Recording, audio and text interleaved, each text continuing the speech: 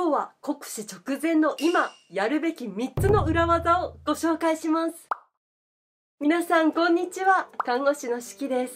いよいよ国試の日が近づいてきました。ということでまさにこの時期にやってほしいことを3つご紹介します。皆さんの合格を全力で応援しているのでぜひ最後まで見てくださいね。それでは早速スタートです。まず1つ目。それは全身を使って暗記をするということです。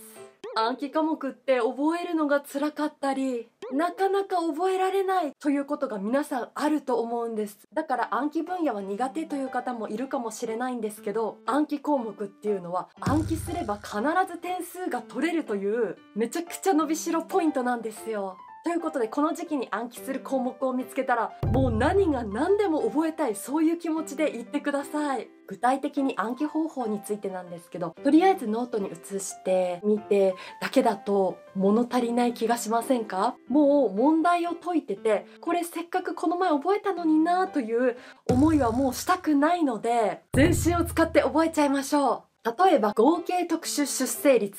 令和元年は1.36です。数字はですね覚えた分だけ点数になります。では体を使ってっていうのはどういうことかっていうと1.36でここでまず語呂を考えるんですよ。1.36うん136イサロイサロ行こうサロンみたいな。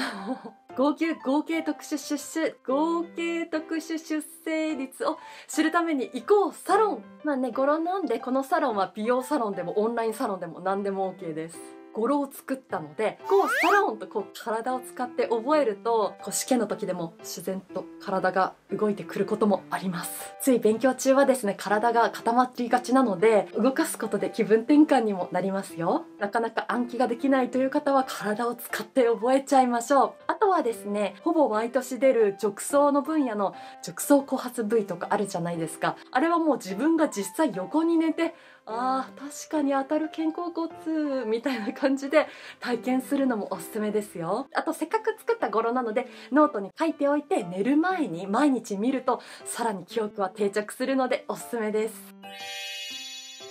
続いて2つ目。これはもうぜひ皆さんにやってほしい。問題をですね間違えたらよしと思う。いや何を言ってるんですかと皆さんなったと思うんですよ。今の時期ですね問題を解いて間違えると私大丈夫？とこう自信がねなくなってしまう方が多いと思うんですね。ただ今間違えたということはしっかり復習すれば本番までに正しい知識を身につけることができるじゃないですか。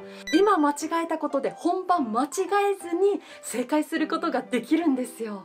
だから今間違いに気づけたということは本番間違えないようにするためにもすごくいい気づきなんですよ。なので皆さん問題を解いて間違えたからといって落ち込まなくて大丈夫ですよ。ここで大事なことはですね一度間違えた問題はもう二度と間違えないぞというつもりで復習することです。今は直前期ということで点数が一番伸びやすい時期なんですね。今日たとえ問題を間違えたとしても当日正解すれば OK です。問題を間違えた時はよしと思ってポジティブに答えに必要な知識をですね勉強してみてください。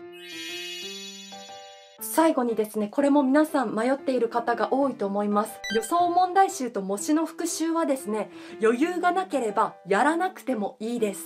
なぜなら看護師国家試験は過去問が命だからです。なので皆さんが今やるべきことはですね、過去問をベースにした国試の問題集をひたすら繰り返しといて、間違える問題を1問でも減らすということですね。ここで本当に過去問だけでいいの？ってこう思う方もいると思うんですよ。そこでですね、私調べてきました。看護師国家試験の問題をこう担当している移動審議会という団体があるんですけど、はっきりと声明を出しています。必修問題は重要な基本事項を繰り返し出題する。気質問題、これは過去問のことですね。は引き続き活用する。つまり皆さんが今やるべきことは過去問です。できたら皆さんが持っている問題集を3週以上繰り返し解くことをお勧めしますね。問題集はもう自信があるよ、しっかり解いたよという方は予想問題集だったり、模試の復習もですね、挑戦してみてほしいですね。余裕がないよ、何すればいいのという方は、とにかくまずは過去問をベースとした国試の問題集を解いてください。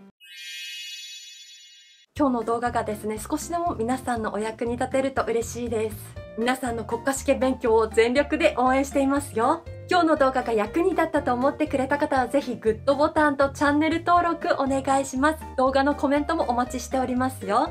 それではまた次の動画でお会いしましょう。